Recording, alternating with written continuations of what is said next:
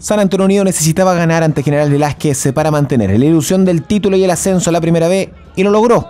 Fue un partido muy trabajado y que se inició con un control lila de las acciones. Fue así que el medio campo de Lara, Bazán, Silva y Fortes se nutría a la ofensiva lila compuesta por Rodrigo Gataz y Esteban Paredes.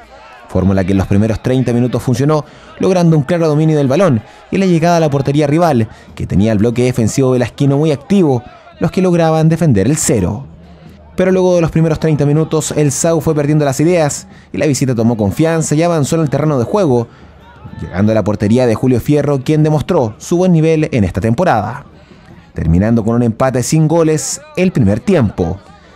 Ya en la segunda etapa, el SAU seguía buscando la apertura del balón, pero el medio campo de General Velázquez se generaba varias llegadas.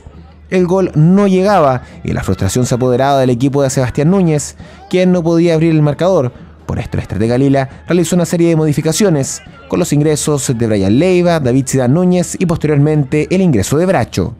Fue así que con más ganas que fútbol, el Sau se fue en busca de la apertura de la cuenta, la que llegó en el minuto 90 del partido, cuando una desinteligencia de la última línea de General Velázquez la aprovechó el refuerzo lila David Zidane Núñez, quien dentro del área no perdonó y anotó el gol de la victoria para San Antonio Unido. Gol que hacía festejar a los cerca de mil hinchas del conjunto del Timón y la Gaviota. Luego del gol, el estratega del Sao aguantó los últimos 7 minutos con la salida de Esteban Paredes y el ingreso de Juan Pablo El Pali Carrasco.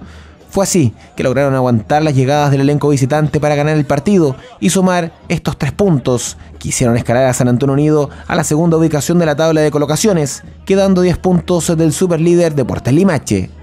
Ahora el Sao se prepara para visitar este domingo al Lautaro de Win, que se mantiene en la tercera posición del campeonato de la segunda división del fútbol chileno.